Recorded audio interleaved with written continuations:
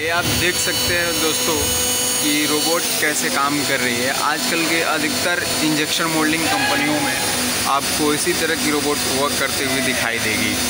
और ये जो मशीन है ओमेगा 450 टन की मशीन है और ये हाइड्रोलिक हाइड्रोलिक मशीन है, जिसमें कि ये टॉगल टाइप में भी आता है, लेकिन ये हाइड्रोलिक है।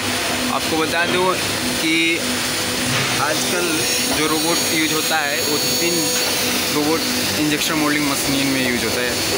एक ओमेगा थ्री सॉरी रोबोट बता रहा था, जैसे कि बिटमैन का हो गया एंड स्टार का हो गया, इन यूसिन का। ये देखिए इजली पार्ट को कैसे रख दे रहा है, आराम से।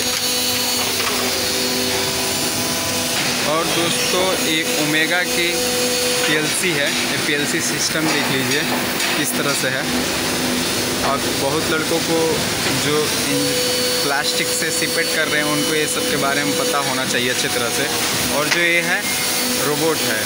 रोबोट पीएलसी है। इस रोबोट का सिस्टम सेट किया जाता है यहाँ से। आपको पता होगा, ये सब एस वगैरह। और आपको दोस्त, एक बात और पता होना चाहिए कि इस टाइम कंपनियों ने अच्छी खासी सुविधा इंजेक्शन मोल्डिंग में ला दी है।